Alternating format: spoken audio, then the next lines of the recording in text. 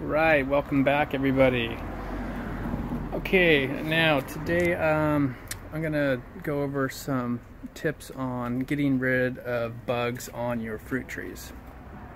Now certain trees are gonna be more susceptible to bugs than others and what we have growing here are three different trees. This is a pear, um, apricot, and apples. So I am having some trouble um, on these in the past and you can see that the leaves had a lot of damage on the top and it's really taken a lot of time for them to come back and get started because the infestation in the beginning uh, kept them from from going. But there's two different trees here. I have uh, the Dorset golden Dorset and a uh, Anna apple. So I have them together. And this, the other one over here, the Anna, seems to be doing really well. I mean, look at the size of these leaves right here. Um, this thing's really taking off. Um, and this one next to it is the one that seems like the bugs are eating a little more. So uh, you don't want uh, these bugs eating your plant. Um, so there's some solutions to that.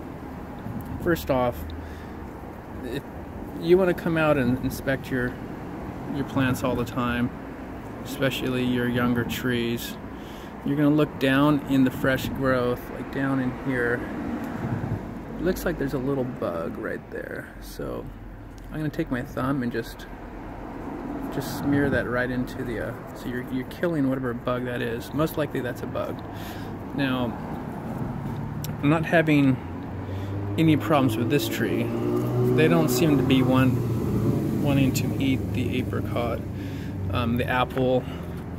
So the apple they, they like. You can see the damage from all these different leaves.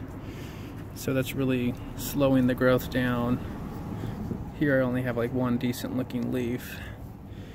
And down here all this new growth. So this, this part is taking off.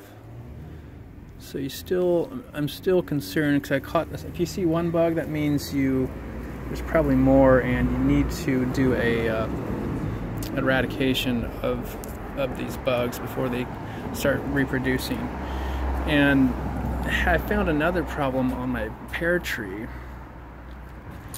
And I, when, you, when you're looking around, you can, well, obviously you can see here they attacked and ate ate this one.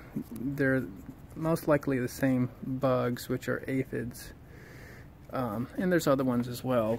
You know, either any type you see in here are just not going to be, you know, good for your plants. So we want to make sure that we kill them.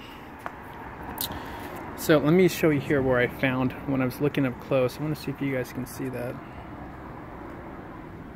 Right in the middle of the camera. Right here. Those two little bugs below my finger.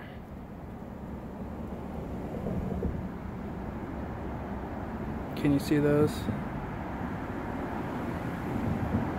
No, those are aphids, so I'm gonna just, I got it, I'm gonna, we're gonna have to just, you just wanna, there's no need spraying them off right now or trying to get rid of them, just smash them with your finger just kind of smear them into the, you guarantee that you, you killed them. They're not going to be a cause of damage. Now, so we know there's, there's probably more around. So you can't guarantee that's the only two that on this entire plant. So what we want to do is we are going to make a solution that you can probably find in your shower, but it's going to be a certain type. What it is is soap. So I got this type right here. It's called Pure. It's called Dr. Bronner's soap. Um, this has um, coconut oil, palm oil, sodium hydroxide, water, organic olive oil, mentha arvensis. That's actually mint. Hemp oil, um, by the way, mint is very good at um, killing bugs. Bugs don't like that um, organic jojoba oil, mentha piperita, that's, that's peppermint. So peppermint is actually also very good. So you have the soap, which will kill the bugs, and these oils. So the combination of these, I've, um, from my experience, this is is good, and it's the same stuff you know you use in your in your shower or whatever. So you don't have to go buy something special.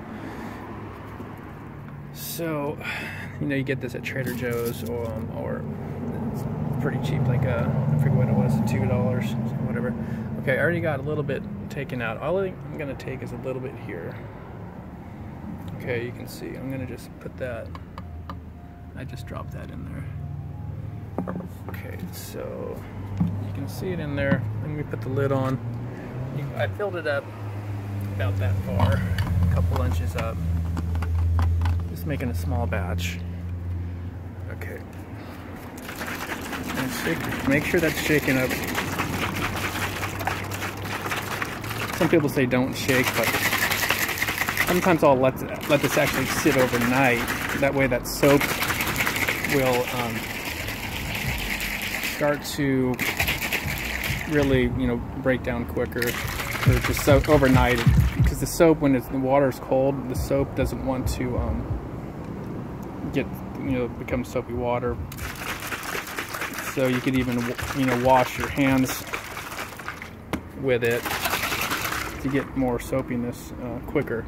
But this will do pretty pretty well. I'm just gonna look inside and make sure it's mixed up. Yeah it looks it's look pretty good so.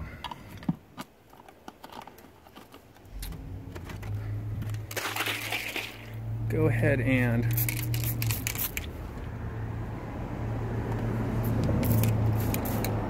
you want to get it kind of a spray, like a wide, a wide spray. We're gonna go ahead and just spray this.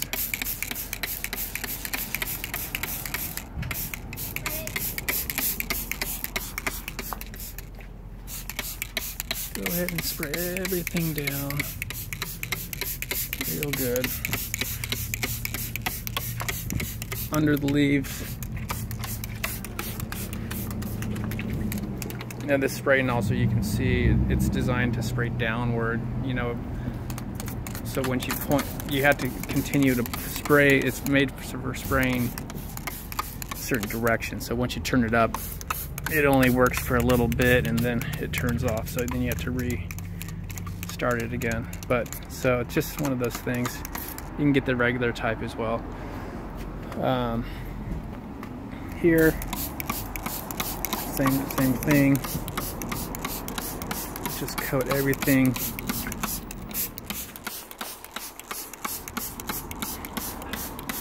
So you get the idea. Um, also, you want to get underneath the leaves. So kind of angle your, your spray nozzle up. And uh, that's pretty much, so I'm just kind of I'll go over it probably two or three times to make sure I, there's no no bugs that I missed at all. Um, just use up so I feel comfortable that you've got it real well. So.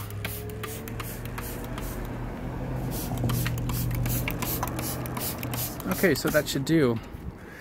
Um, you know, there's different stuff that you can use to get rid of bugs.